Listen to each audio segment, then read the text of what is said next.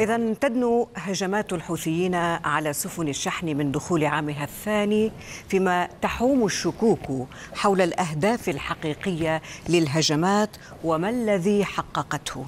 ففي حين يزعم الحوثيون أنها جبهة دعم وإسناد للفلسطينيين يقول مراقبون إن هجمات الحوثيين كانت بمثابة كرت ضغط إضافي لإيران. ويؤكد محللون أن طهران استفادت من صعود الحوثيين كقوة إقليمية لتعزيز قدرات الردع لديها وكذلك قدرتها على فرض أعباء على خصومها. كما مكنت هجمات الحوثيين مكنت إيران من تعطيل ثاني أهم الممرات المائية في باب المندب إلى جانب تهديدها لمضيق هرمز بهدف ابتزاز المجتمع الدولي.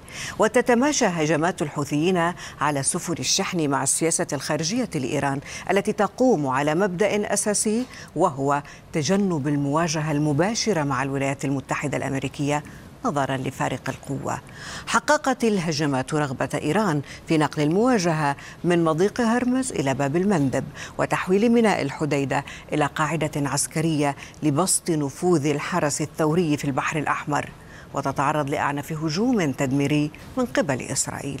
في المقابل لم تؤثر هجمات الحوثيين على المشهد الإنساني في غزة ولم يسفر الاستهداف العشوائي للسفن التجارية عن دخول شاحنة غذاء واحدة إلى القطاع.